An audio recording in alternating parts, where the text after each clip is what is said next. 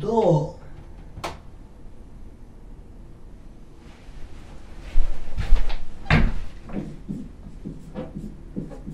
初優勝するまで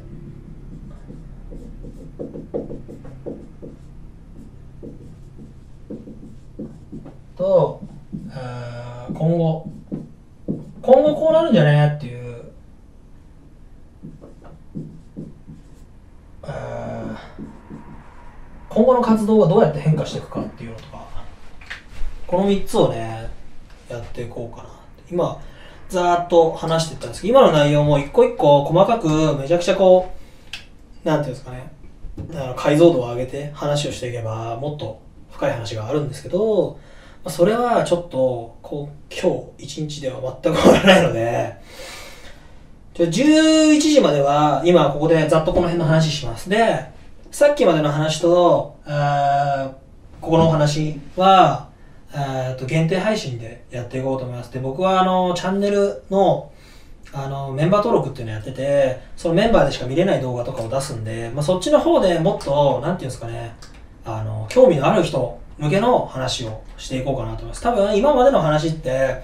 意見が割れちゃう話とか結構あってであの中でも僕の意見っていうのが僕はこうやってきたよみたいな。こうやったらうまくいった気がするよっていうのがあるんだけどそれ新人に言っ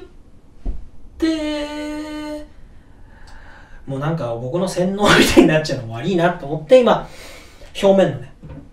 まあ脱業界こんな感じのとこですよ。ねえこうやってやってった方がいいんじゃない？自分のできるところからやっていこうねみたいな話なんだけど、あとはまあ SNS でね安易なこと書かないようにしなよっていうの。あのそこは一番かもしれないねこれからの時代は。で、まあ、この辺の話のちょっと深く掘った話は、えー限定配信の方でやっていこうと思いますので、えーまあチャンネル登録とねそっちの方の登録を、えーがっつり見たい人はしてください。で、まあ、今後もそういう感じであのー内容についてはですねちょっと深い話になる場合はあね限定配信の方でやっていきます。まあその基本的な話は全部しちゃうんで。そのただ個人的なねなんか思い出みたいな話になっちゃったり経験の話になる時はまあちょっと限定の方でいいかなっていうふうに思ってます。でとりあえずか今流れを。あすごい。あー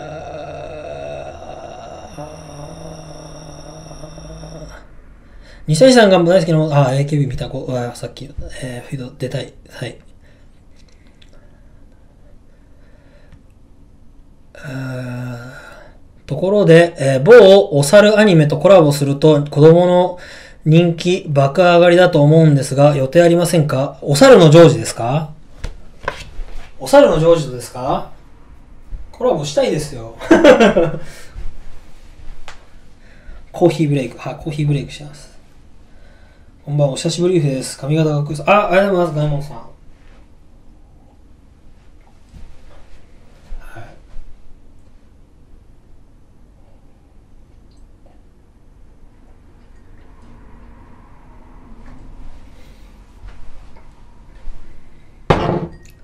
ケイタ君とメドレーからの対談したら視聴者増えるかも。ケイタ君と、小野ケイタさんですか？ケイタさんと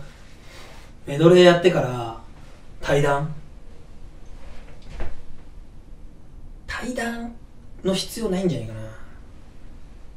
それケイタ君の話を僕が聞くだけでそれあの僕は基本的にはあの僕よりそのなんていうんですかその先輩の話は勉強になるんで新しい情報を入れたいんでね僕の話とか別に啓太さんにいらないんじゃねって。だみんな分かってる話だと思うんだよね今の。全部みんな分かってる上での話をあえてもう一回書くのはその新人の子とかがよくわかんないでやってると SNS にめっちゃ愚痴書いちゃったりとかなんかねあのー S、SNS にちょっとねこうど毒されちゃうからちょっと言っといたけど。あところでそうめんの質問は私が発端じゃないのは理解されてましたか？えそうなの？ピンクか緑かの話でしょ？子供にあげるんですか？って言ってたやつでしょ？誰だ？えー、っと。ささっと初優勝するまでの話をしていこうかな。ちょっと勢いがあったかな。そうですとか言って。そうめんの話また後でいいですか？ちょっと後で。えっとですね、ま、さきのプロになってからの取り組みで、ま、さきのね、地元で買う、まあ、整理していこうか。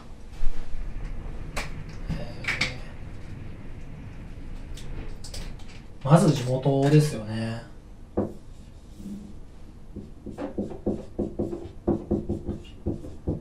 地元で最強目指した方がいいんじゃない？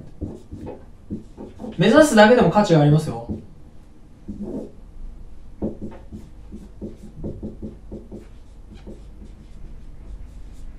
地元で最強を目指すのはすごい価値があると思います。これはもう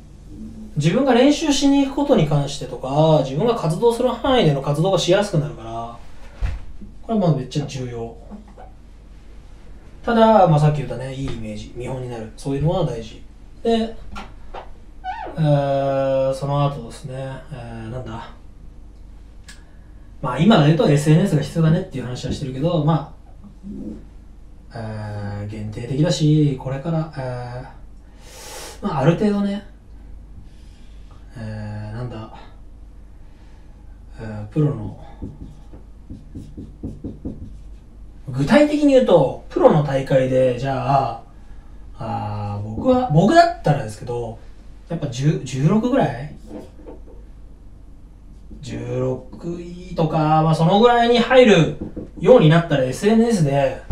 これからダーツ頑張りますって言っていいと思う。でももっと先でもいいけどね。そのちゃんと運用できるんであれば SNS はあダーツ始めたプロはみんなプロ目指してます。頑張ってます。応援してください。応援ありがとうございましたとか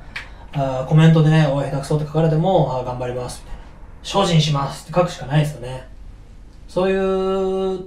要はわけわからんのに関わられた時でも丁寧に対応するっていう姿も見られてると思って過ごした方がいいと思います見られてるっていうのが一番だね。見られてる意識？プロになったらもうこれは常にあると思った方がいいと思います。僕も別に完璧じゃないんでねなんか喫煙所での態度で怒られたりとか。もうそのきっかけで僕もタバコややめましたからね。ほぼほぼほぼ。まあこういうのとか。まあ普段の振る舞いも大事かな。最強を目指す、えー顔を売る SNS もこれも一緒だよね。影響力につながっていくと思うね。えーっと、まあ、この辺はいいか。まあでもこのここの後にこれが来るんだね。スポンサーだね。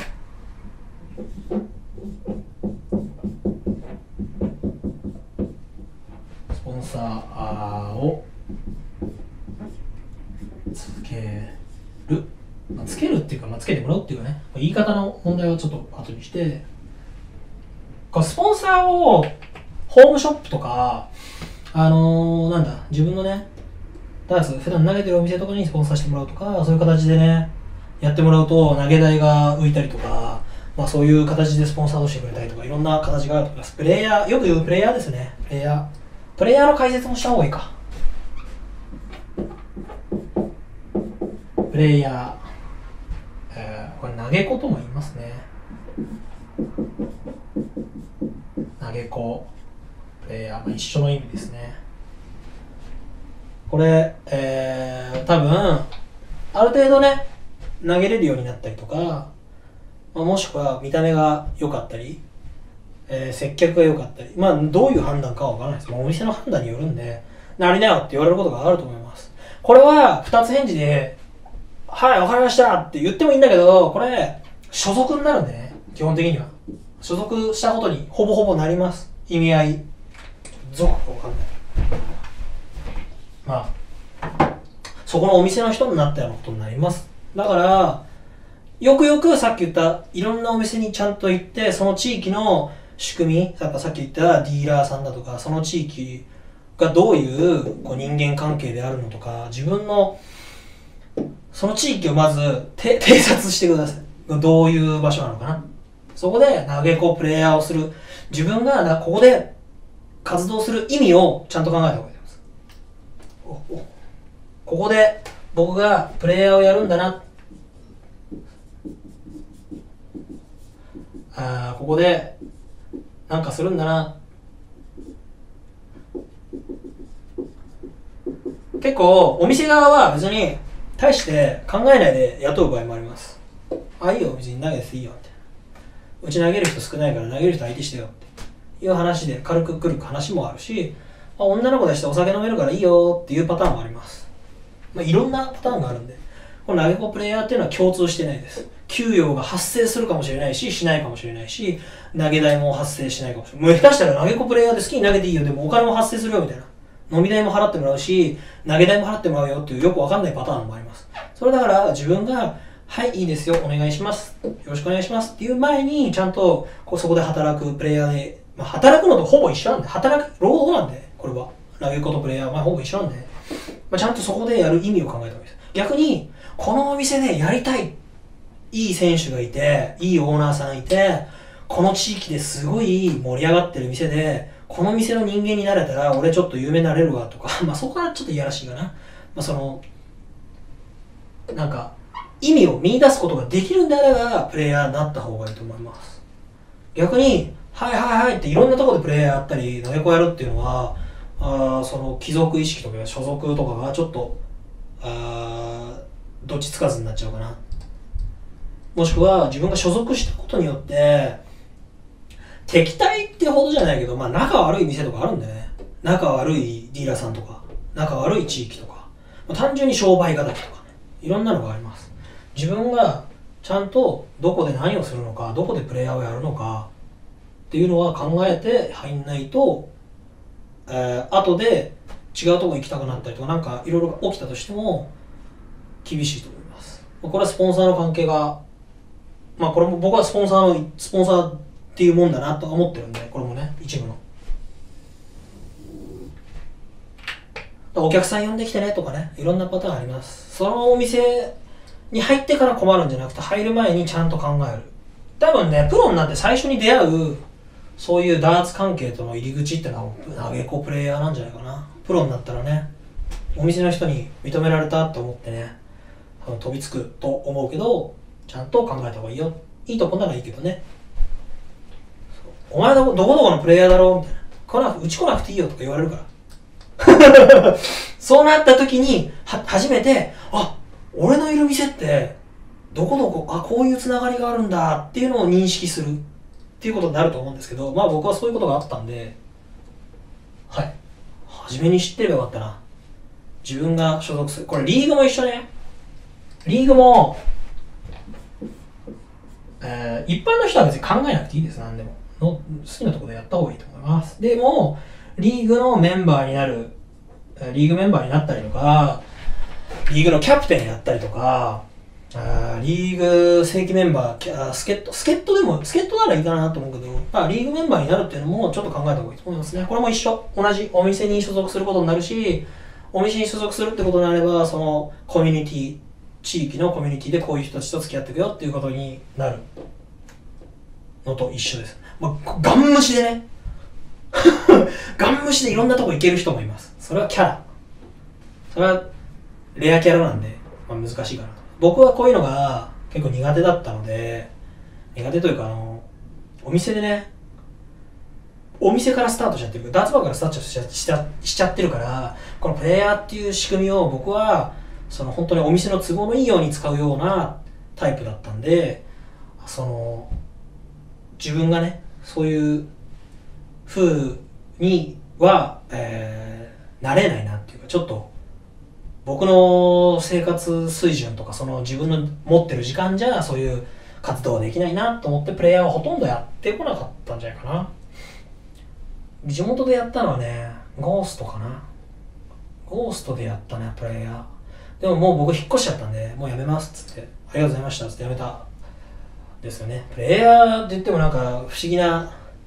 感じでしたけどねなんかお金払った方がいいかなみたいな感じだったけどはいあのー、陽子さんのところでお世話になりました。今今更かな。よく言ってたけど。えー、投げ子プレイヤー。もうこれは意味は考えた方がいいよ。ねどこどこの子でしょ？みたいな。スポンサーつかないよ。って言われたりね。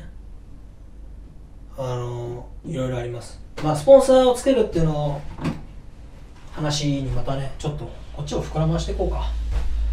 多分新人の方は、まあ、このスポンサーのところがすごい気になるよねって思うんでスポンサーをつけるにはどうしたらいいのかっていう話で言うとスポンサーをつける方法っていうのはあまず、えー、だどうしよう。昔と違って今は、まあ、情報が溢れてるんで何とも言えないんですけど、えー、まず知ってもらう。これすでに業界に存在するスポンサーの場合は知ってもらうことがまあ大前提ですよね。あなたのこと知りませんよって話になるんで誰ですか？なるんで知ってもらうことが大前提になるかなと思うんだけどまあ僕が、えー、僕がね一番おすすめするっていうかこれが大事だなって今今もう本当に思うのはあのさっき言った主観の話だけど主観的な自分の個人スポンサー。個人スポンサーっていうのが結構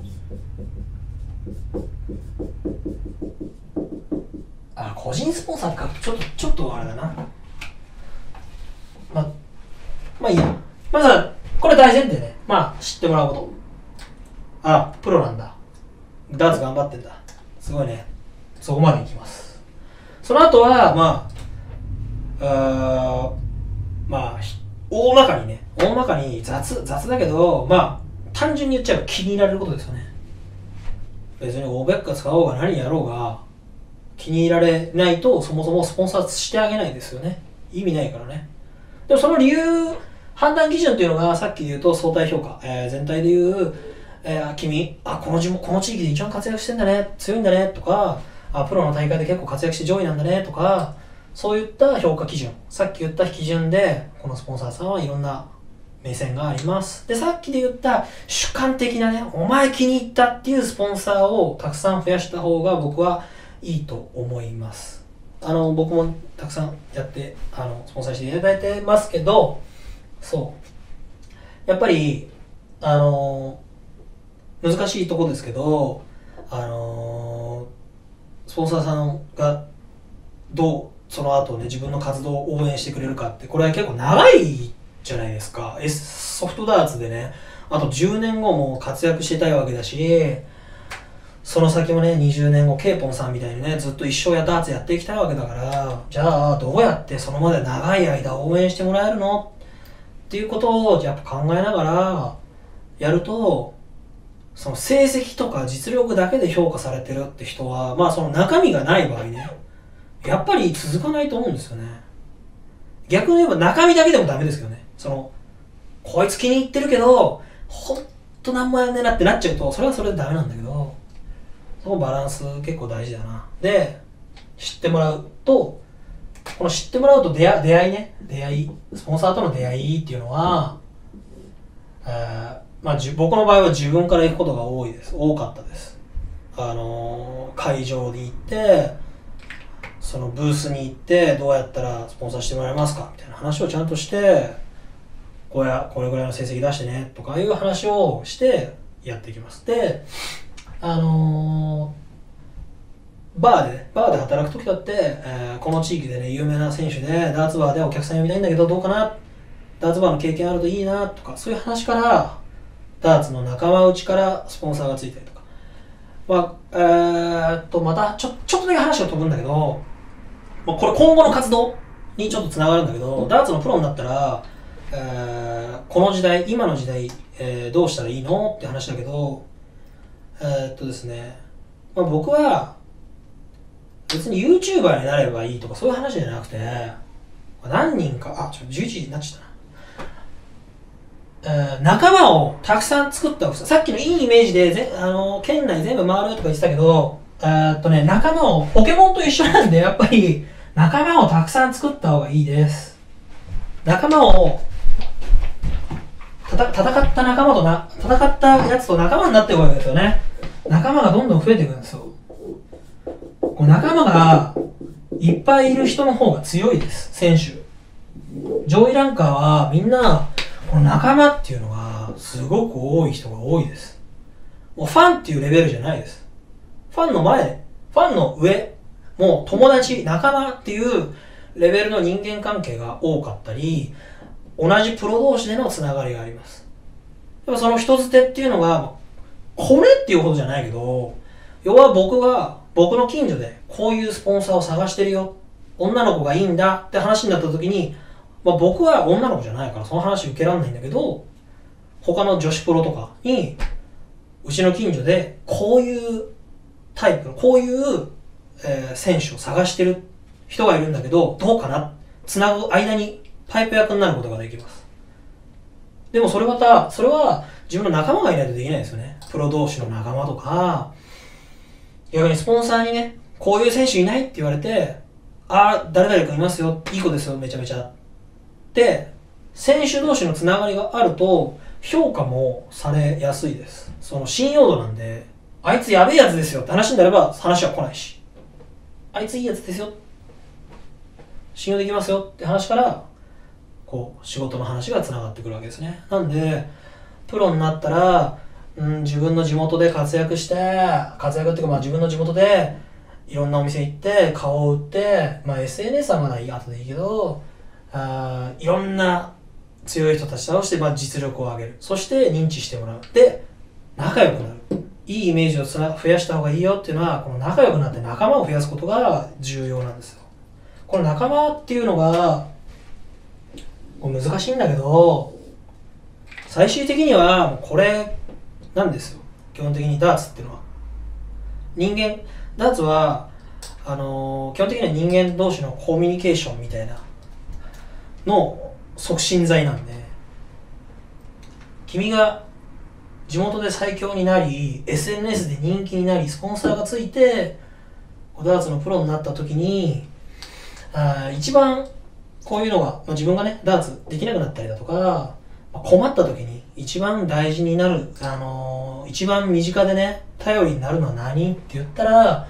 こうやって活動してきた中でスポンサーさんがねすごい仲良くなって仲間になる仲間っていうレベルまで仲良くなることだってあるわけだからここを増やさないとダメだよ。これが重要だよ。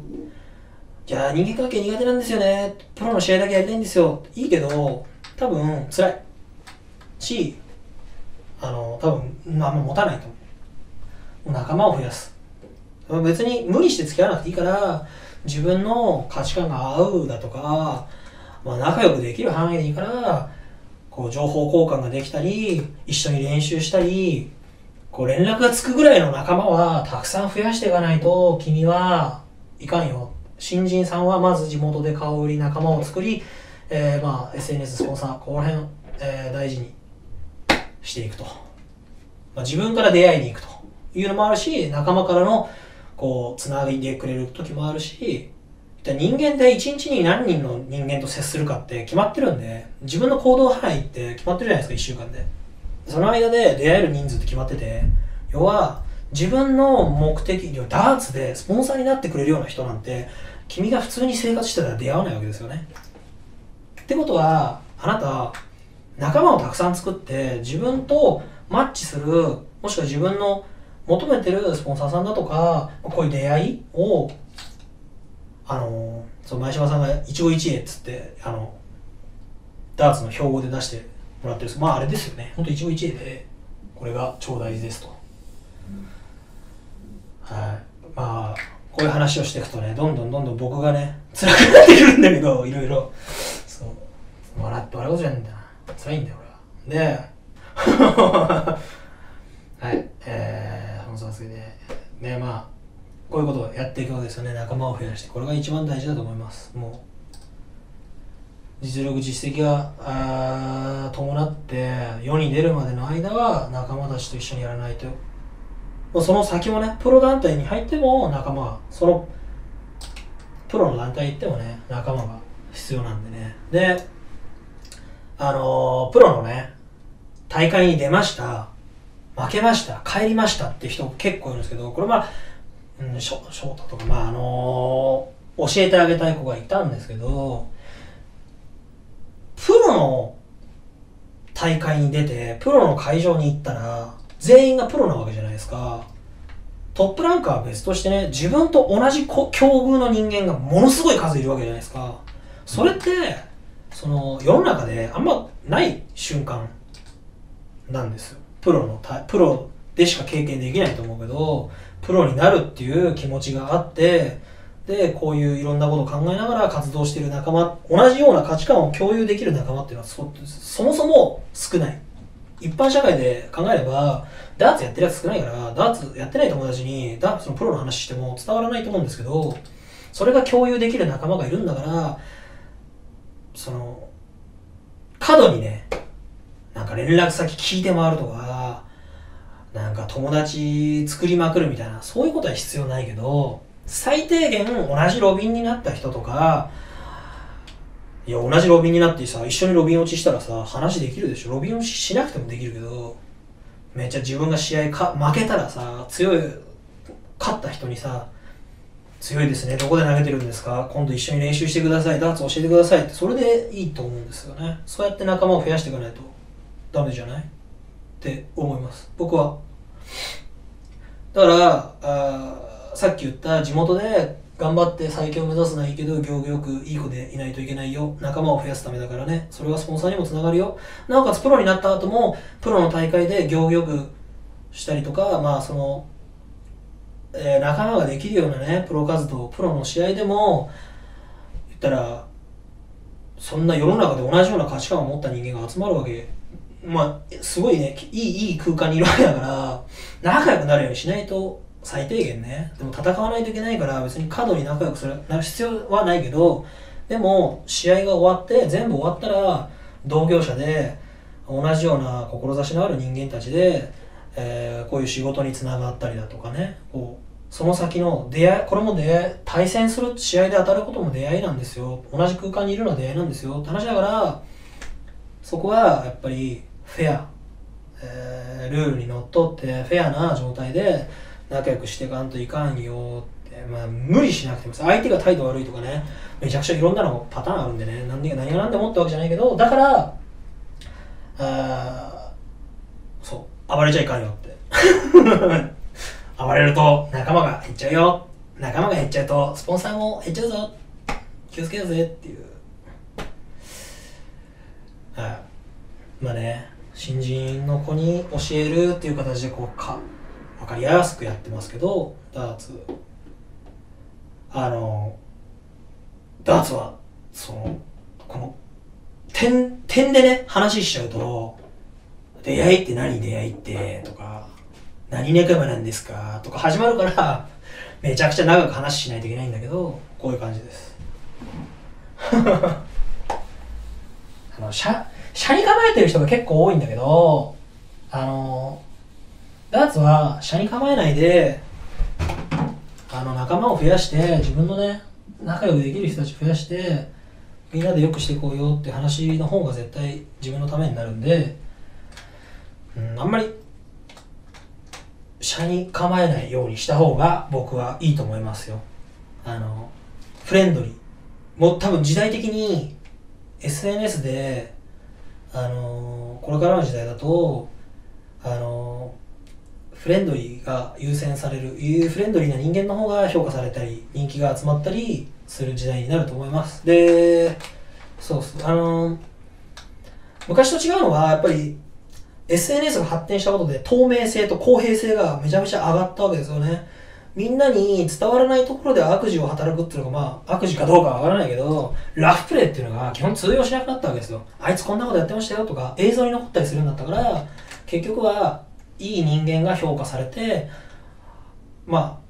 逆に言えばちょっと悪いことしたらすごく叩かれてっていう時代になったわけだからまあさっき言ったねいいイメージいい人になりなよいい行いをやりなさいよ仲間を増やすためですよそれはスポンサーにもつながりますよスポンサーにつながるってことはあなたの将来につながりますよっていう話。プラリンなるほどそこまで考えてるやつあんまいねえのかな？わかんないけど。まあそんな感じです。まあこれは終わりだね。まあじゃあ。限定で話しようと思ったけどちょっと今後の活動だけ後にしようか優勝するまでどういう活動をしてたのかっていうと僕はまあそのスポンサーをね自分の活動にプラスになるスポンサーさん金銭が発生するお金がもらえるスポンサーさんっていうのを、えーずっとつけてませんでした。優勝するね優勝する、えー年までつけてないです。優勝する年がいつかっていうと2017年なんですけど僕2017年の1月からスポンサーを受けたんでその金銭の発生するねお金がもらえるスポンサーを、えーつけたんですよね、えー遠征費を前線遠征費じゃねえや。僕はえこれもねイリーガルだと思うんだけどエントリー代を負担してもらう代わりに、えーね、自分の試合の、えー賞金の何パーみたいなやつをやったんですよね、しょっぱな。理由は、その、なんつうんだろう、応援をしてもらいたかったですね。僕が出れば出るほどお金が出てくっていう仕組みにすると、向こうがあんまりいい顔しねえんじゃないかなって、試合に出れば出るほど自分がマイナスになるだけやんって、何のプラスがあるのってなっちゃうと嫌だなって思ってたんだけど、まあさ、後々ね、人気が出てくれば集客っていう手があるんだけど、集客とか認知度を上げる影響力を持つっていうことで恩返しができるんだけど、まあ、そういうのがなかったので、まあ、そういう感じの最初一番最初の契約は活躍したらっていう感じだったですね。優勝とかまあさ賞を取った賞金の何パーみたいな。っていう契約だったと思います。まあもらった金額よりは少なくあれオーバーしたんかな最後は。少なくなったのかな。まあそんな感じで、えースポンサーしてもらってたんですけどすぐその直後にまた、まあ、考え方が変わったんでね自分をサポートしてくれる人お金出してくれる人を得るのが怖かったんですよね。初優勝するまで。初優勝する優勝する3ヶ月前ぐらいまでお金をもらうっていうことがプロの活動をすることでお金をもらうっていうのが怖かったんですよなんでかっていうと何も返す当てがなくないですか優勝を絶対できるわけじゃないし活躍できるわけじゃないんですよお金もらったら絶対なんかしないといけないでしょこれが自分の実力と考えるととてもあ不安につながってて要は逃げてたわけですね僕は。お金をもらうことに関して。お金をもらわなければまあ、それまで物品提供されてるからそれも一緒なんだけどでもやっぱりお金をもらったことで、まあ、意識もう本当はそれはねもっと前から分かってないといけない話なんだけど、まあ、僕の場合はちょっと賢くないからお金をもらうまで自分がどういった責任があるのかどういう重圧がも課されるのかっていうのを知らないというか知ってたから逃げてたというかそのプロ活動っていうもののこう重さから逃げてたのでお金がもらえるスポンサーをつけてなかったです。なんかなんで活躍してないのにお金をもらうやついるのみたいな。なんでとか思ってたけどあのお金をもらうことが結構怖いことだ。だってお金もらうまではとか物をもらうまでは自己責任だから別に俺の好きでいいじゃんっていう話なんだけどお金もらったらやらなきゃダメでしょちゃんと。仕事だから。活躍しないといけないでしょ。活躍しないまでも何かもぎ取って帰ってこないといけなくなるわけでしょ。っていう自分にハードルがより課されるっていうことに初めてえお金をもらったことで気づきました。それが僕の中ではまあその義務感みたいなのがねお金もらった以上、まあ、スポンサード受けてるのは当然なんだけど気づくのが遅いだけなんだけどそうなってやっと気づきました。で、えーそれからはもうダーツね、その2016年でもうダメだと思ってやめるつもりだったんで、2017年は最後の年っていうことで、スポンサーもつけてもらうし、あのースポンサーもね、その探すようにしたんですよ自分でいろいろ。まあその仲間からのつてだったりとか自分で SNS で発信スポンサー募集しますって発信したりとかいろんなことするようになりました。でその結果生まれたのは責任感なんでやっぱ練習しないといけないしそのぬるいこと言っちゃいかんなってなってめちゃくちゃ練習して、えー別にね平場で誰に負けようがあ素人にね下手くそって言われようがなんだろうがね結果で本番で試合で、えー優勝さえすりゃ何でもいいっていうぐらいまでだって金もらってっからねっていう状態になったんで試合で対戦相手にあの物持ちが全くしなくなりました。これ多分すごい僕特殊なのかもしれないけど俺お金もらってるからちゃんとやんないといけないわけだけどその対戦相手がどうとかか言ってらんない対戦相手がこういうやつが来たああいうやつが来たって知らねえっていうそんな別に関係ないよねっていう状態になっていやよく言う開き直り開き直るの大大事だよっていう話だけど、まあ、僕の場合はそのお金もらったことで開き直りに近いようなもうやるしかねえっていう状態になって、えー結果が出ました。えー運がいいよねでも本当にやめるつもりだったんですよ。4月の末でやめるようだったからダーツもねその年その後続けるかどうかも分かんない。もう4月の末でやめたらお店辞めてプロも多分そんな出なくなっちゃうかもしれないかったからあなんていうんですかね。もう最後の卒業式まで頑張るみたいな感じでめちゃめちゃ頑張って練習してでその年のスポンサードを得て優勝したから、まあ、それでまた認知度がバーンって上がってそのおかげでまたスポンサーがねついてったんですよ。でその時に実力実績がついたわけなんだけど初優勝してみたら見えるというか初優勝した結果分かったことはそのこれだけじゃ全然暮らしていけないよっていう。でこれあるかないか全然違うけど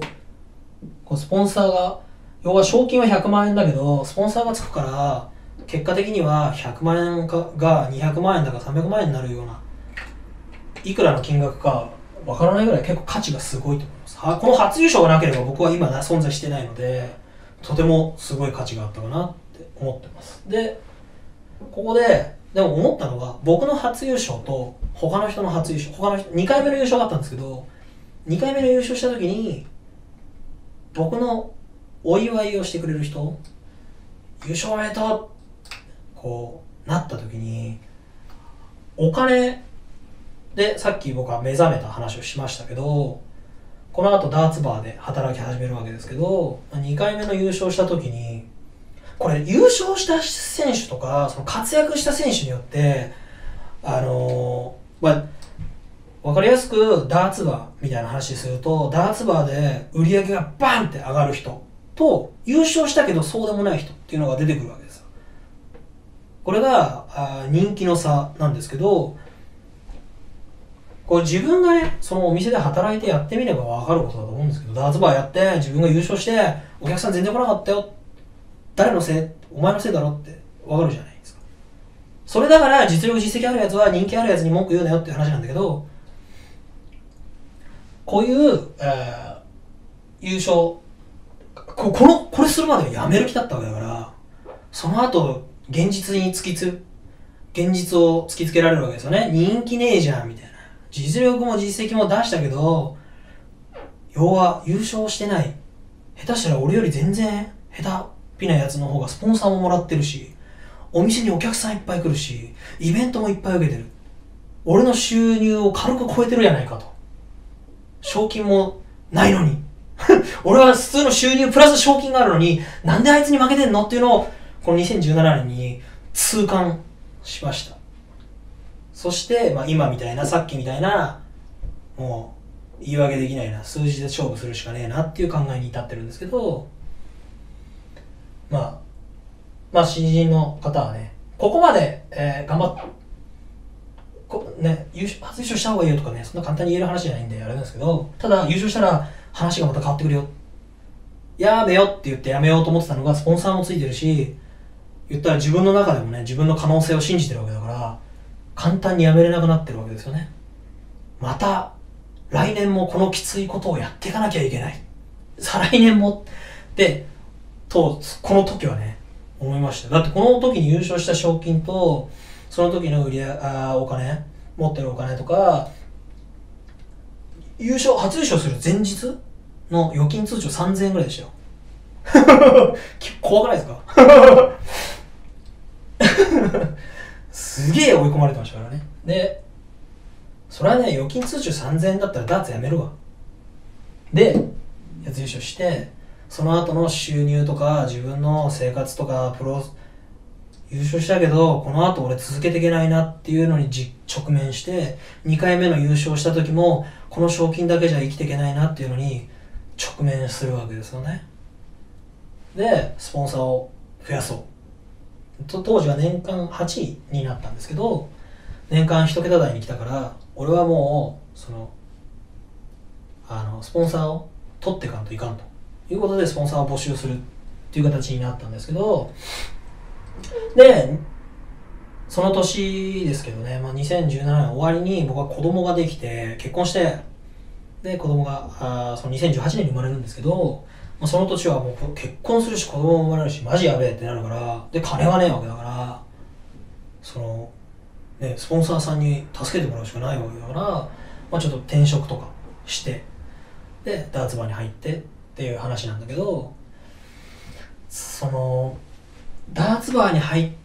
てからまた優勝できるのかってまあ一回優勝その年もできたんだけど2018年も一回優勝できたんだけどその時の優勝